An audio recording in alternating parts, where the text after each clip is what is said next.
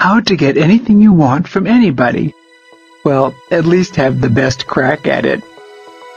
Have you ever admired those successful people who seem to have it all? You see them chatting confidently at business meetings or comfortably at social parties. They're the ones with the best jobs, the nicest spouses, the finest friends, the biggest bank accounts, or the most fashionable zip codes. But wait a minute. A lot of them aren't smarter than you. They're not more educated than you. They're not even better looking. So what is it? Some people suspect they inherited it. Others say they married it or were just plain lucky. Tell them to think again. What it boils down to is their more skillful way of dealing with fellow human beings. You see, nobody gets to the top alone.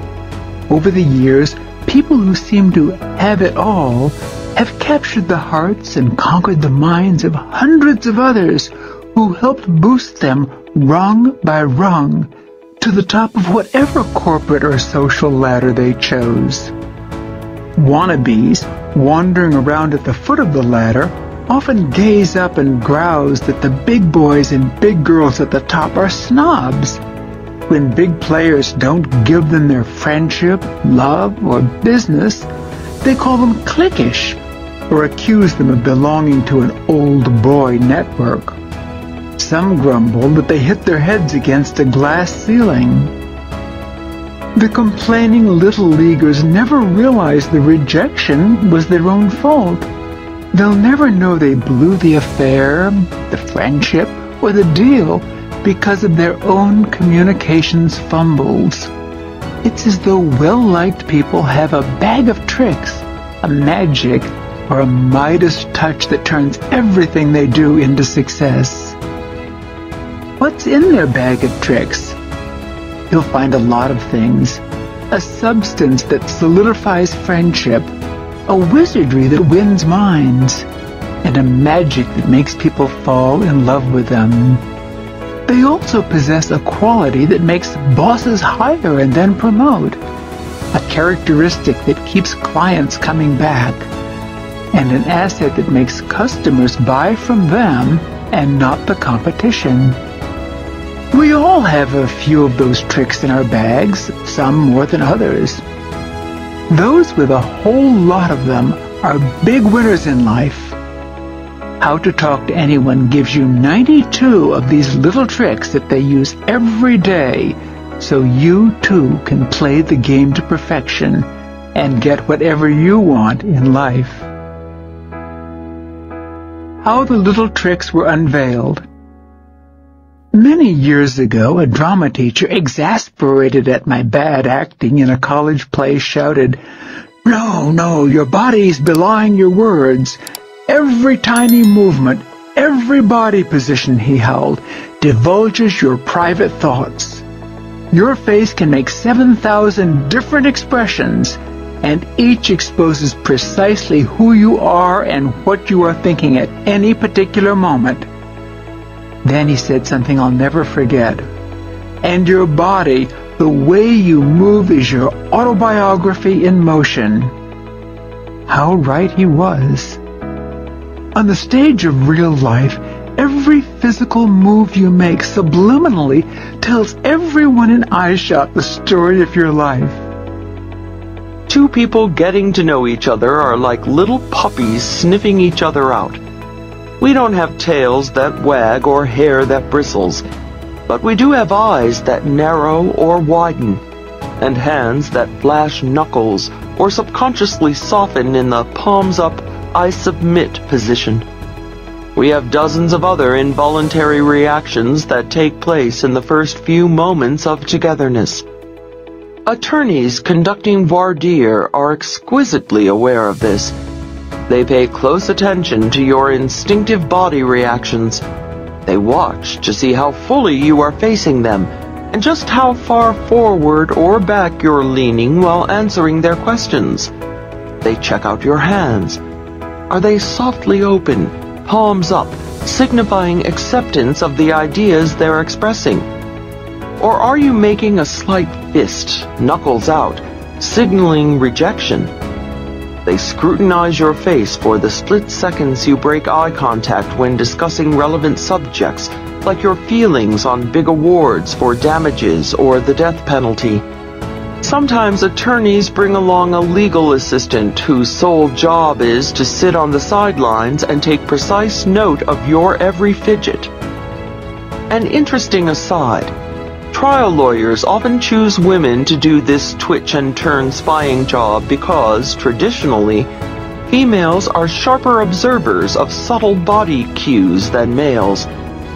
Women, more sensitive to emotions than men, often ask their husbands, Is something bothering you, honey?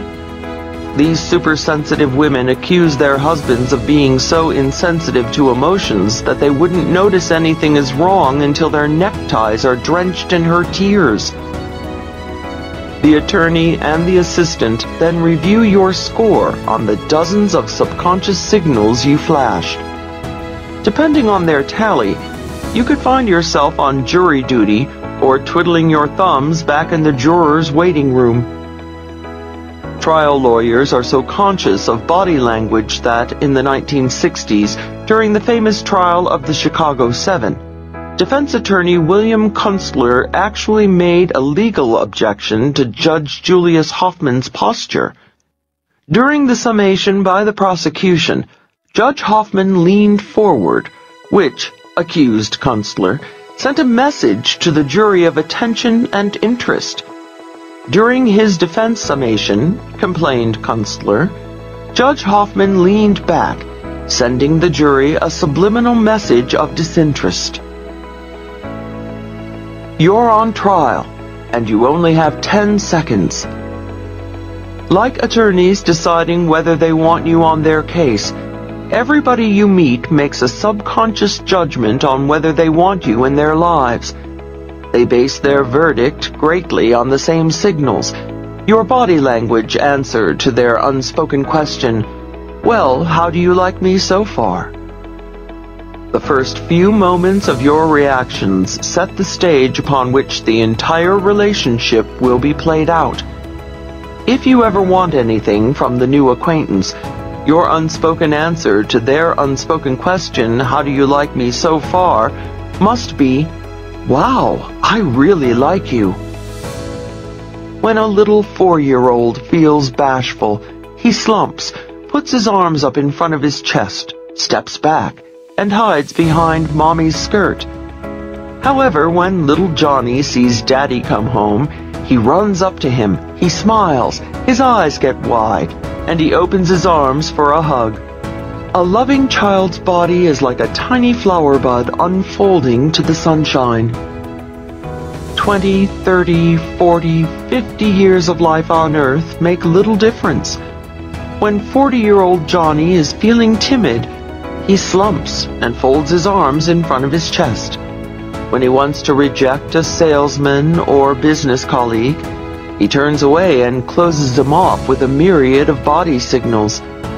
However, when welcoming his loved one home after an absence, Big Johnny opens his body to her like a giant daffodil spreading its petals to the sun after a rainstorm. Treat people like big babies. Once I was at a corporate star-studded party with an attractive recently divorced friend of mine. Carla had been a copywriter with one of the leading advertising agencies which, like so many companies then, had downsized. My girlfriend was both out of work and out of a relationship. At this particular party, the pickings for Carla were good, both personally and professionally. Several times as Carla and I stood talking, one good-looking corporate male beast or another would find himself within a few feet of us. More often than not, one of these desirable males would flash his teeth at Carla. She sometimes graced the tentatively courting male with a quick smile over her shoulder, but then she'd turn back to our mundane conversation as though she were hanging on my every word. I knew she was trying not to look anxious, but inside Carla was crying out, Why doesn't he come speak to us? Right after one prize corporate big cat smiled, but because of Carla's minimal reaction, wandered back into the social jungle, I had to say, Carla, do you know who that was? He's the head of the Young and Rubicam in Paris. They're looking for copywriters willing to relocate. And he's single. Carla moaned. Just then we heard a little voice down by Carla's left knee. Hello.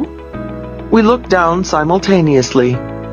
Little five-year-old Willie, the hostess's adorable young son, was tugging on Carla's skirt, obviously craving attention. Well, well, well, Carla cried out, a big smile erupting all over her face. Carla turned toward him. Carla kneeled down, touched little Willie's elbow, and crooned, Well, hello there, Willie. How are you enjoying Mommy's nice party? Technique number one. The flooding smile. Don't flash an immediate smile when you greet someone, as though anyone who walked into your line of sight would be the beneficiary. Instead, look at the other person's face for a second. Pause. Soak in their persona. Then let a big, warm, responsive smile flood over your face and overflow into your eyes. It will engulf the recipient like a warm wave. The split-second delay convinces people your flooding smile is genuine and only for them. Let us now travel but a few inches north to two of the most powerful communications tools you possess, your eyes. 2. How to strike everyone as intelligent and insightful by using your eyes. It's only a slight exaggeration to say Helen of Troy could launch ships with her eyes, and Davy Crockett could stare down a bear. Your eyes are personal grenades that have the power to detonate people's emotions. Just as martial arts masters register their fists as lethal weapons, you can register your eyes as psychological lethal weapons when you master the following eye contact techniques. Beloved people in the game of life look beyond the conventional wisdom that teaches keep good eye contact. For one, they understand that to certain suspicious or insecure people, intense eye contact can be a virulent intrusion. When I was growing up, my family had a Haitian housekeeper whose fantasies were filled with witches, warlocks, and black magic.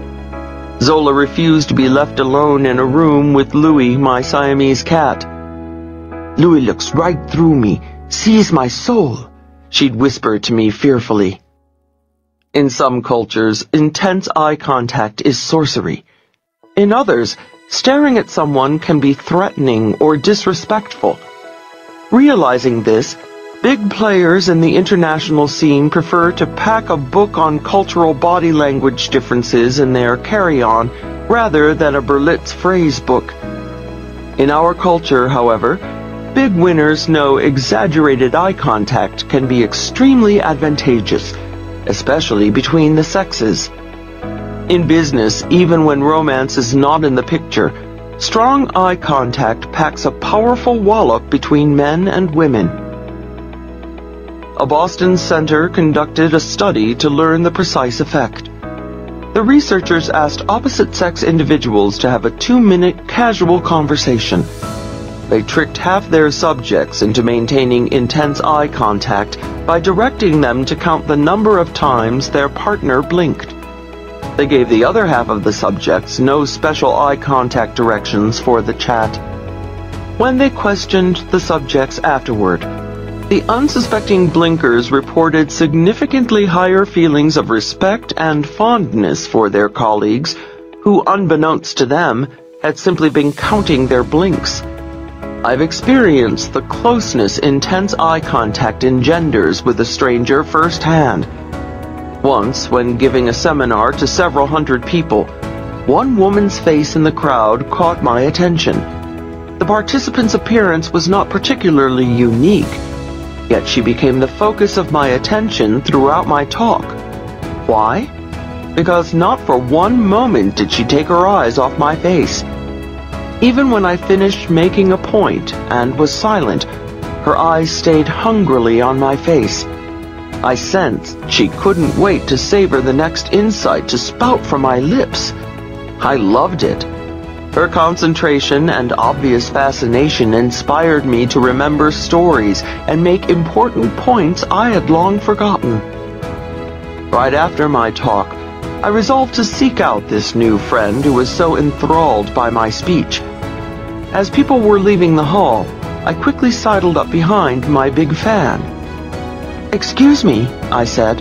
My fan kept walking. Excuse me, I repeated a tad louder. My admirer didn't vary her pace as she continued out the door. I followed her into the corridor and tapped her shoulder gently. This time she whirled around with a surprised look on her face. I mumbled some excuse about my appreciating her concentration on my talk and wanting to ask her a few questions. Did you uh, get much out of the seminar? I ventured. Well, not really, she answered candidly. I had difficulty understanding what you were saying because you were walking around on the platform facing different directions. In a heartbeat, I understood. The woman was hearing impaired. I did not captivate her as I had suspected.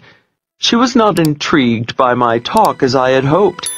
The only reason she kept her eyes glued on my face was because she was struggling to read my lips. Nevertheless, her eye contact had given me such pleasure and inspiration during my talk that, tired as I was, I asked her to join me for coffee. I spent the next hour recapping my entire seminar just for her. Powerful stuff, this eye contact. Make your eyes look even more intelligent. There is yet another argument for intense eye contact. In addition to awakening feelings of respect and affection, maintaining strong eye contact gives you the impression of being an intelligent and abstract thinker. Because abstract thinkers integrate incoming data more easily than concrete thinkers, they can continue looking into someone's eyes even during the silences. Their thought processes are not distracted by peering into their partner's peepers. Back to our valiant psychologists. Yale researchers, thinking they had the unswerving truth about eye contact, conducted another study that they assumed would confirm the more eye contact, the more positive feelings. This time they directed subjects to deliver a personally revealing monologue. They asked the listeners to react with a sliding scale of eye contact while their partners talked. The results? All went as expected when women told their personal stories to women. Increased eye contact encouraged feelings of intimacy. But whoops, it wasn't so with the men. Some men felt hostile when stared at too long by another man. Other men felt threatened. Some few even suspected their partner was more interested than he should be and wanted to slug him. Your partner's emotional reaction to your profound gaze has a biological base. When you look intently at someone, it increases their heartbeat and shoots an adrenaline-like substance gushing through their veins. This is the same physical reaction people have when they start to fall in love. And when you consciously increase your eye contact, even during normal business or social interaction, people will feel they have captivated you. Men talking to women and women talking to men or women use the following technique, which I call sticky eyes, for the joy of the recipient and for your own advantage. Guys, I'll have a man-to-man -man modification of this technique for you in a moment. How to look like a big winner wherever you go. Do you remember the lyrics to the old Shirley Bassey song? The minute you walked in the joint, I could see you were a man of distinction, a real big spender. good looking, so refined. Say, wouldn't you like to know what's going on in my mind? The goal of this first section is not to make you look like a real big spender. Rather, it is to give you the cachet of a real big somebody the moment people lay eyes on you. To that end, we now explore the most important technique to make you look like a very important person. When the doctor smacks your knee with that nasty little hammer, your foot jerks forward. Thus the phrase knee-jerk reaction. Your body has another instinctive reaction when a big jolt of happiness hits your heart and you feel like a winner, your head jerks up automatically and you throw your shoulders back. A smile frames your lips and softens your eyes. This is the look winners have constantly. They stand with assurance. They move with confidence. They smile softly with pride. No doubt about it, Good posture symbolizes that you are a man or woman who is used to being on top. Obviously, millions of mothers sticking their knuckles between their kids' shoulder blades and trillions of teachers telling students, stand up straight, hasn't done the trick. We are a nation of slouchers. We need a technique more stern than teachers and more persuasive than parents to make us stand like a somebody. In one profession, perfect posture, perfect equilibrium, perfect balance is not only desirable, it's a matter of life and death. One false move, one slump of the shoulders, one hangdog look can mean curtains for the high wire acrobat. I'll never forget the first time Mama took me to the circus. When seven men and women raced into the center ring the crowd rose as though they were all joined at the hips. They cheered with one thunderous voice. Mama pressed her lips against my ear and reverently whispered these were the great Wallendas, the only troupe in the world to perform the seven-person pyramid without a net. In an instant, the crowd became hushed. Not a cough or soda slurp was heard in the big top as Karl and Herman Wallenda shouted cues in German to their trusting relatives. The family meticulously and majestically ascended into the position of a human pyramid. They then balanced precariously on a thin wire hundreds of feet above the hard dirt, with no net between them and sudden death. The vision was unforgettable. To me, equally unforgettable was the beauty and grace of the seven Wallendas racing into the center of the big top to take their bows. Each perfectly aligned, head high, shoulders back, standing so tall it still didn't seem like their feet were touching the ground. Every muscle in their bodies defined pride, success, and their joy of being alive. Still, here is a visualization technique to get your body looking like a winner who is in the habit of feeling that pride, success, and joy of being alive. Your posture is your biggest success barometer. Imagine you are a world-renowned acrobat, master of the Iron Jaw Act waiting in the wings of the Ringling Brothers and Barnum and Bailey Circus. Soon you will dart into the center ring to captivate the crowd with the precision and balance of your body. Before walking through any door, the door to your office, a party, a meeting, even your kitchen, picture a leather bit hanging by a cable from the frame. It is swinging just an inch higher than your head.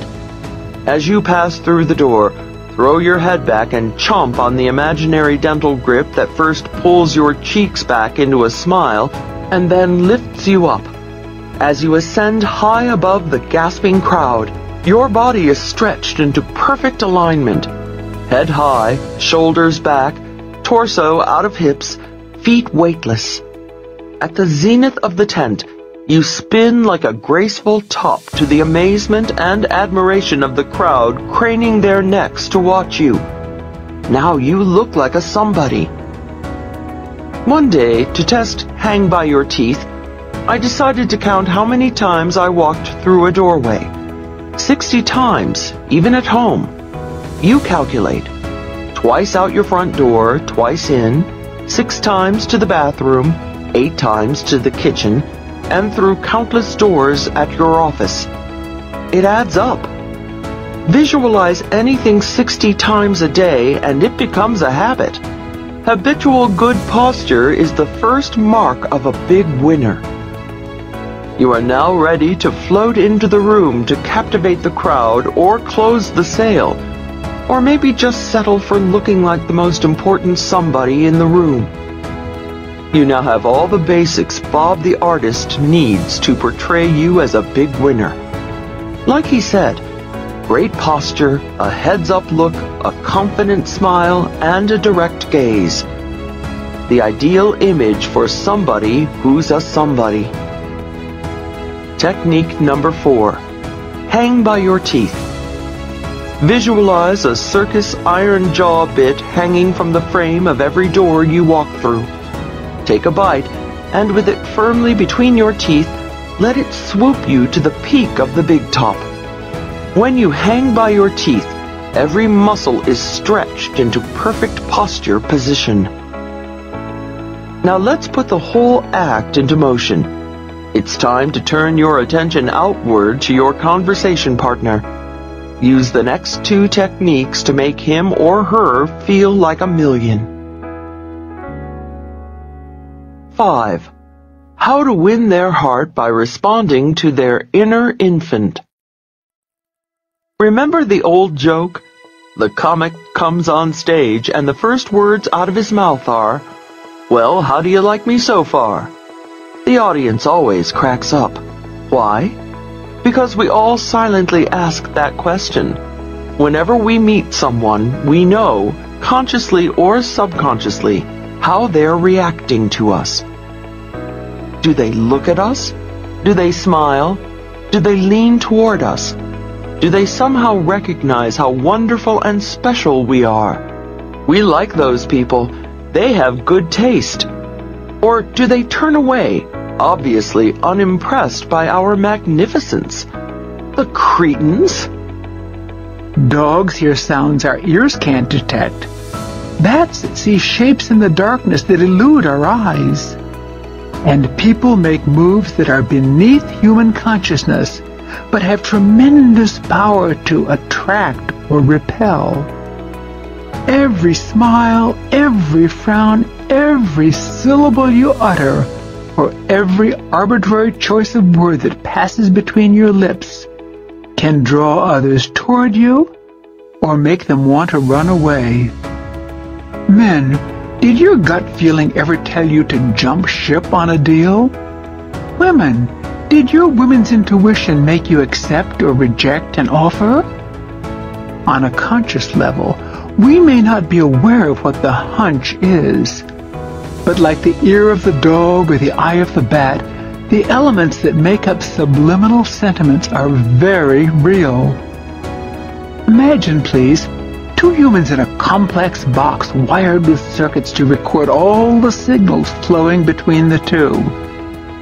As many as 10,000 units of information flow per second probably the lifetime efforts of roughly half the adult population of the United States would be required to sort the units in one hour's interaction between two subjects, a University of Pennsylvania Communications Authority estimates.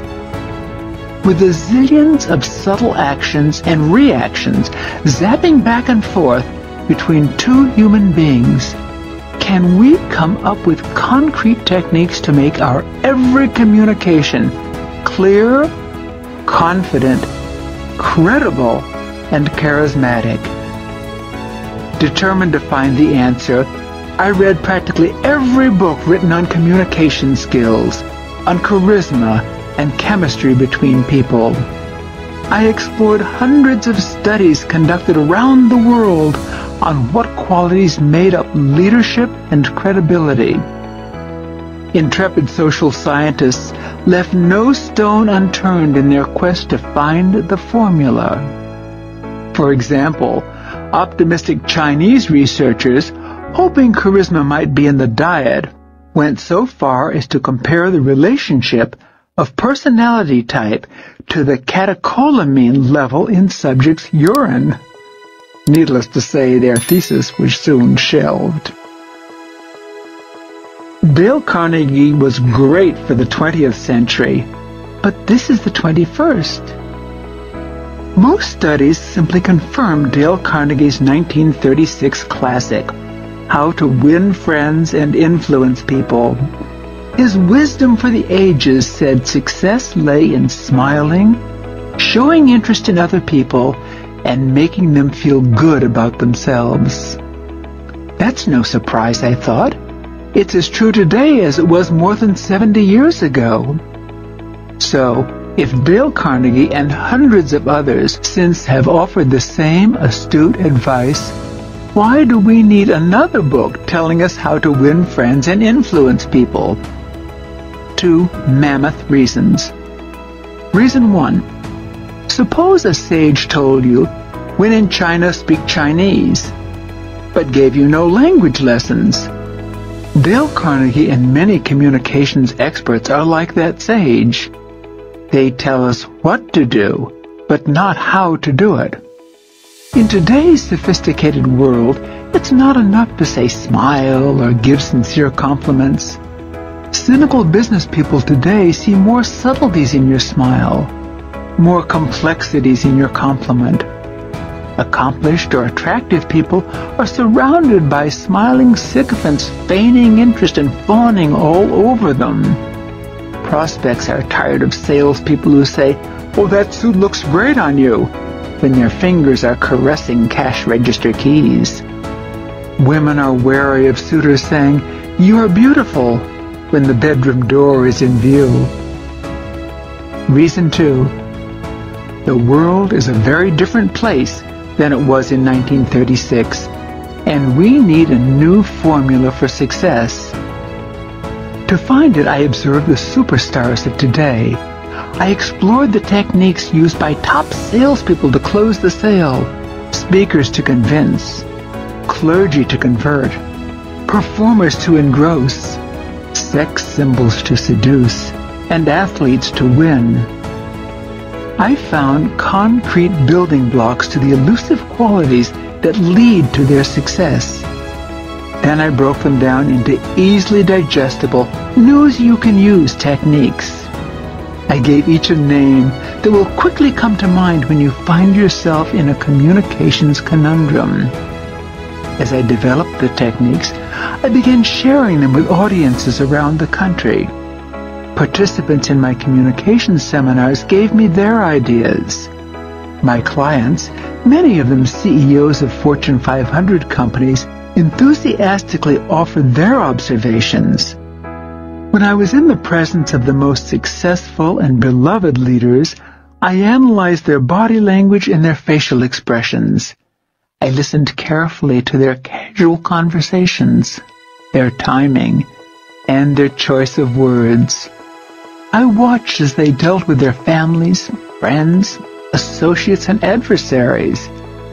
Every time I detected a little nip of magic in their communicating, I asked them to pluck it out with tweezers and expose it to the bright light of consciousness. We analyzed it together, and then I turned it into an easy-to-do little trick others could duplicate and profit from. My findings and the strokes of some of those very effective folks are in this book. Some are subtle, some are surprising, but all are achievable. When you master them, everyone from new acquaintances to family, friends, and business associates will happily open their hearts, homes, companies, and even wallets to give you whatever they can. There's a bonus. As you sail through life with your new communication skills, you will look back and see some very happy givers smiling in your wake. Part 1 How to intrigue everyone without saying a word. You only have 10 seconds to show you're a somebody. The exact moment that two humans lay eyes on each other has awesome potency. The first sight of you is a brilliant holograph. It burns its way into your new acquaintance's eyes and can stay emblazoned in his or her memory forever. Artists are sometimes able to capture this quicksilver, fleeting emotional response. My friend Robert Grossman is an accomplished caricature artist who draws regularly for Forbes, Newsweek, Sports Illustrated, Rolling Stone, and other popular publications. Bob has a unique gift for capturing not only the physical appearance of his subjects, but for zeroing in on the essence of their personalities. The bodies and souls of hundreds of luminaries radiate from his sketchpad. One glance at his caricatures of famous people and you can actually see their personalities. Sometimes at a party, Bob will do a quick sketch on a cocktail napkin of a guest. Hovering over Bob's shoulder, the onlookers gasp as they watch their friend's image and essence materialize before their eyes. When he's finished drawing, he puts his pen down and hands the napkin to the subject. Often a puzzled look comes over the subject's face. He or she usually mumbles some politeness like, Well, uh, that's great, but it really isn't me. The crowd's convincing crescendo of, oh yes it is, drowns the subject out and squelches any lingering doubt. The confused subject is left to stare back at the world's view of himself or herself in the napkin. Once, when I was visiting Bob's studio, I asked him how he could capture people's personalities so well. He said, It's simple. I just look at them. No, I asked, how do you capture their personalities? Don't you have to do a lot of research about their lifestyle, their history? No, I told you, Leela, just look at them. Huh? He went on to explain, almost every facet of people's personalities is evident from their appearance, their posture, the way they move. For instance, he said, calling me over to a file where he kept his caricatures of political figures. See, Bob said, pointing to angles on various presidential body parts. Here's the boyishness of Clinton, showing me his half smile, the awkwardness of the elder George Bush, pointing to his shoulder angle, the charm of Reagan, noting the ex-president's smiling eyes, the shiftiness of Nixon, pointing to the furtive tilt of his head, Digging a little deeper into his file, he pulled out Franklin Delano Roosevelt, and pointing to the nose high in the air, here's the pride of FDR. It's all in the face and the body. First impressions are indelible. Why? Because in our fast-paced information overload world of multiple stimuli bombarding us every second, people's heads are spinning. They must form quick judgments to make sense of the world and get on with what they have to do. So whenever people meet you, they take an instant mental snapshot. That image of you becomes the data they deal with for a very long time. Your body shrieks before your lips can speak. Are their data accurate? Amazingly enough, yes. Even before your lips part and the first syllable escapes, the essence of you has already axed its way into their brains. The way you look and the way you move is more than 80% of someone's first impression of you. Not one word need be spoken. I've lived and worked in countries where I didn't speak the native language. Yet without one understandable syllable spoken between us, the years proved my first impressions were on target. Whenever I met new colleagues, I could tell instantly how friendly they felt toward me, how confident they were, and approximately how much stature they had in the company. I could sense just from seeing them move who the heavyweights were and who were the welterweights. I have no extrasensory skill. You'd know too. How? because before you have had time to process a rational thought, you get a sixth sense about someone. Studies have shown emotional reactions occur even before the brain has had time to register what's causing their reaction. Thus, the moment someone looks at you, he or she experiences a massive hit, the impact of which lays the groundwork for the entire relationship. Bob told me he captures that first hit in creating his caricatures. Deciding to pursue my own agenda for how to talk to anyone, I asked, Bob, if you wanted to portray somebody really cool, you know, intelligent, strong, charismatic, principled, fascinating, caring, interested in other people. Easy, Bob interrupted. He knew precisely what I was getting at.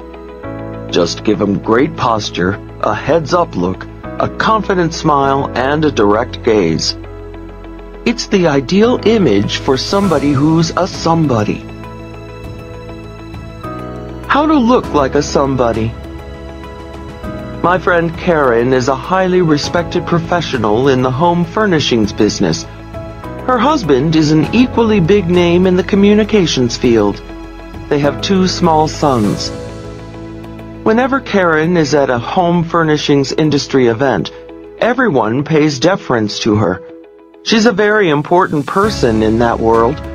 Her colleagues at conventions jostle for position just to be seen casually chatting with her and, they hope, be photographed rubbing elbows with her for industry Bibles like Home Furnishings Executive and Furniture World.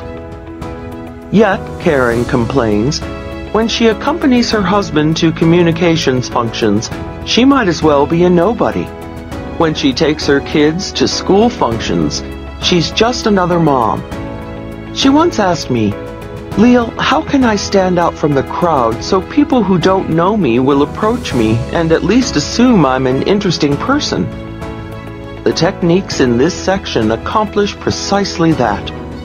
When you use the next nine techniques, you will come across as a special person to everyone you meet. You will stand out as a somebody in whatever crowd you find yourself in, even if it's not your crowd. Let's start with your smile. Technique number two, sticky eyes. Pretend your eyes are glued to your conversation partners with sticky warm taffy. Don't break eye contact even after he or she has finished speaking. When you must look away, do it ever so slowly, reluctantly, stretching the gooey taffy until the tiny string finally breaks. What about guys' eyes? Now, gentlemen, when talking to men, you too can use sticky eyes. Just make them a little less sticky when discussing personal matters with other men, lest your listener feel threatened or misinterpret your intentions. But do increase your eye contact slightly more than normal with men on day-to-day communications, and a lot more when talking to women. It broadcasts a visceral message of comprehension and respect. I have a friend, Sammy, a salesman who unwittingly comes across as an arrogant chap.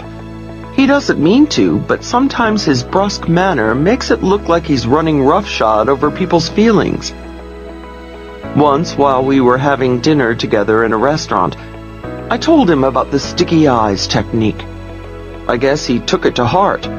When the waiter came over, Sammy, uncharacteristically, instead of bluntly blurting out his order with his nose in the menu, looked at the waiter. He smiled, gave his order for the appetizer, and kept his eyes on the waiters for an extra second before looking down again at the menu to choose the main dish.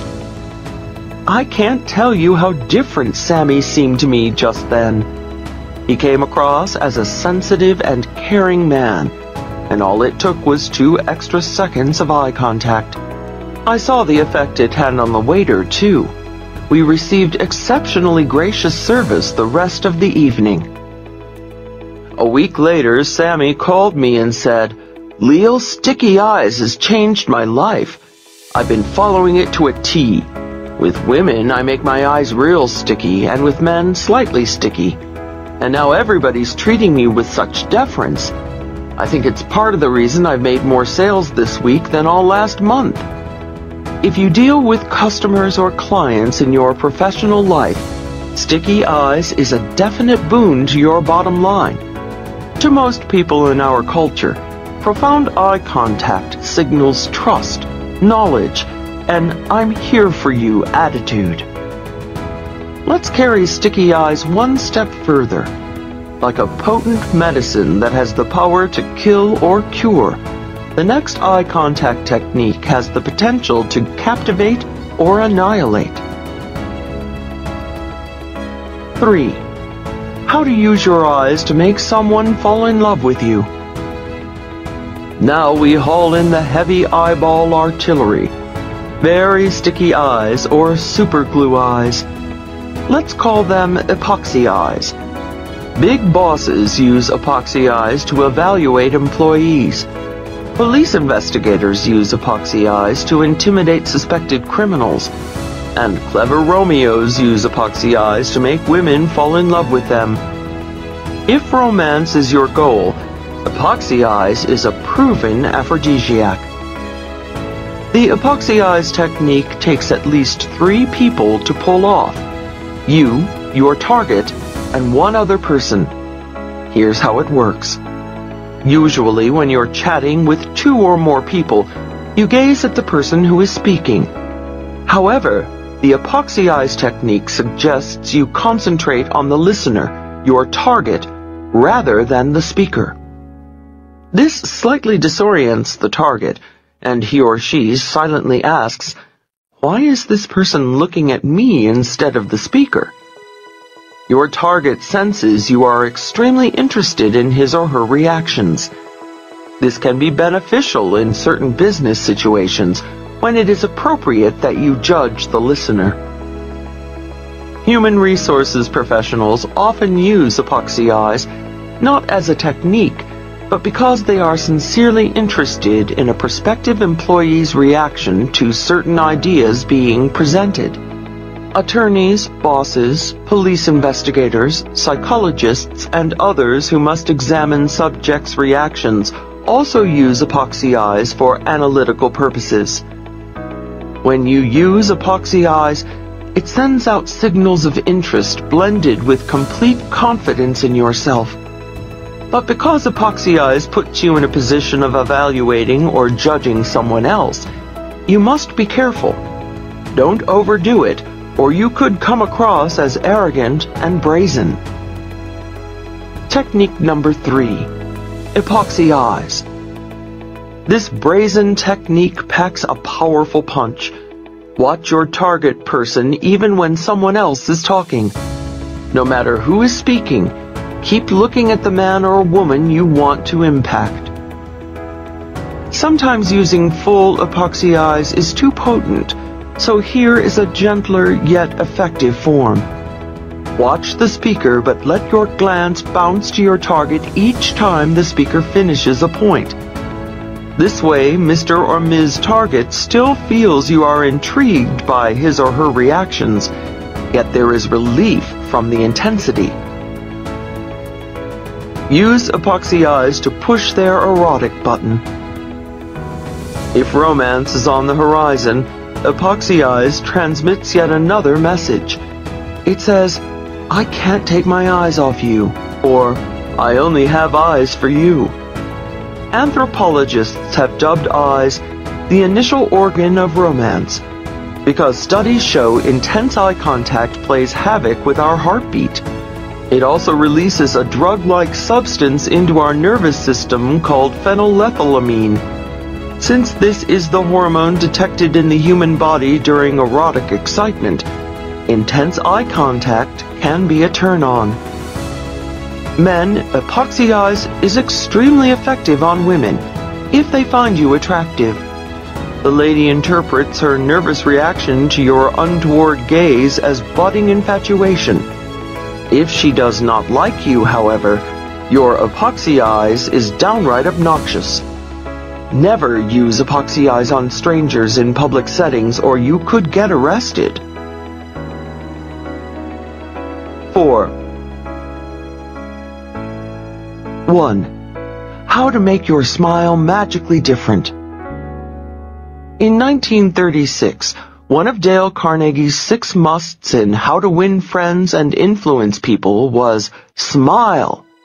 His edict has been echoed each decade by practically every communications guru who ever put pen to paper or mouth to microphone. However, at the turn of the millennium, it's high time we re-examine the role of the smile in high-level human relations. When you dig deeper into Dale's dictum, you'll find a 1936 quick smile doesn't always work, especially nowadays. The old-fashioned instant grin carries no weight with today's sophisticated crowd. Look at world leaders, negotiators, and corporate giants. Not a smiling sycophant among them. Key players in all walks of life enrich their smile so when it does erupt, it has more potency and the world smiles with them. Researchers have cataloged dozens of different types of smiles. They range from the tight rubber band of a trapped liar to the soft, squishy smile of a tickled infant. Some smiles are warm, while others are cold. There are real smiles and fake smiles. You've seen plenty of those plastered on the faces of friends who say they're delighted you decided to drop by, and presidential candidates visiting your city who say they're thrilled to be in, um, uh, Big winners know their smile is one of their most powerful weapons, so they've fine-tuned it for maximum impact. How to fine-tune your smile. Just last year, my old college friend Missy took over her family business, a Midwestern company supplying corrugated boxes to manufacturers. One day she called saying she was coming to New York to court new clients, and she invited me to dinner with several of her prospects. I was looking forward to once again seeing my friend's quicksilver smile and hearing her contagious laugh. Missy was an incurable giggler and that was part of her charm. When her dad passed away last year, she told me she was taking over the business. I thought Missy's personality was a little bubbly to be a CEO in a tough business. But hey, what do I know about the corrugated box biz? She, three of her potential clients, and I met in the cocktail lounge of a midtown restaurant and, as we led them into the dining room, Missy whispered in my ear, Please call me Melissa tonight. Of course, I winked back. Not many company presidents are called Missy. Soon after the maître d' seated us, I began noticing Melissa was a very different woman from the giggling girl I'd known in college. She was just as charming. She smiled as much as ever. Yet something was different. I couldn't quite put my finger on it. Although she was still effervescent, I had the distinct impression everything Melissa said was more insightful and sincere. She was responding with genuine warmth to her prospective clients, and I could tell they liked her too. I was thrilled because my friend was scoring a knockout that night. By the end of the evening, Melissa had three big new clients. Afterward, alone with her in the cab, I said, Missy, you've really come a long way since you took over the company. Your whole personality has developed, well, a really cool, sharp corporate edge. Uh-uh. Only one thing has changed, she said. What's that? My smile, she said. Your what? I asked incredulously. My smile, she repeated as though I hadn't heard her. You see, she said, with a distant look coming into her eyes. When Dad got sick and knew in a few years I'd have to take over the business, he sat me down and had a life-changing conversation with me. I'll never forget his words. Dad said, Missy, honey, remember that old song, I loves ya, honey, but your feet's too big? Well, if you're gonna make it big in the box business, let me say, I loves ya, honey, but your smile's too quick. He then brought out a yellowed newspaper article quoting a study he'd been saving to show me when the time was right. It concerned women in business. The study showed women who were slower to smile in corporate life were perceived as more credible. As Missy talked, I began to think about history-making women like Margaret Thatcher, Indira Gandhi, Golda Meir, Madeleine Albright, and other powerful women of their ilk. Not one was known for her quick smile. Missy continued, The study went on to say a big warm smile is an asset, but only when it comes a little slower, because then it has more credibility. From that moment on, Missy explained, she gave clients and business associates her big smile. However, she trained her lips to erupt more slowly. Thus, her smile appeared more sincere and personalized for the recipient. That was it. Missy's slower smile gave her personality a richer, deeper, more sincere cachet. Though the delay was less than a second, the recipients of her big, beautiful smile felt it was special and just for them. I decided to do more research on the smile. When you're in the market for shoes, you begin to look at everyone's feet. When you decide to change your hairstyle, you look at everyone's haircut. Well, for several months, I became a steady smile watcher. I watched smiles on the street. I watched smiles on TV. I watched the smiles of politicians, the clergy, corporate giants, and world leaders. My findings? Amid the sea of flashing teeth and parting lips, I discovered the people perceived to have the most credibility and integrity were just ever so slower to smile. Then, when they did, their smiles seemed to seep into every crevice of their faces and envelop them like a slow flood. Thus, I call the following technique the flooding smile. Little Willie beamed. When little Willie finally trundled off to tug on the garments of the next group of potential attention givers, Carla and I returned to our grown-up conversing. During our chat, corporate beasts continued to stalk Carla with their eyes, and she continued casting half smiles at them. She was obviously disappointed none of them was making a further approach. I had to bite my tongue. Finally, when I felt it was going to bleed from the pressure of my teeth, I said, Carla, have you been noticing that four or five men have come over and smiled at you? Yes, Carla whispered, her eyes darting nervously around the room lest anyone overhear us. And you've been giving them little half smiles, I continued. Yes, she murmured, now confused at my question. Remember when little Willie came up and tugged on your skirt? Do you recall how you smiled, that beautiful big smile of yours, turned toward him and welcomed him into our grown-up conversation? Yes, she answered haltingly. Well, I have a request, Carla. I want you to give the next man who smiles at you that same big smile you gave Willie. I want you to turn toward him just like you did then. Maybe even reach out and touch his arm like you did Willie's, and then welcome him into our conversation.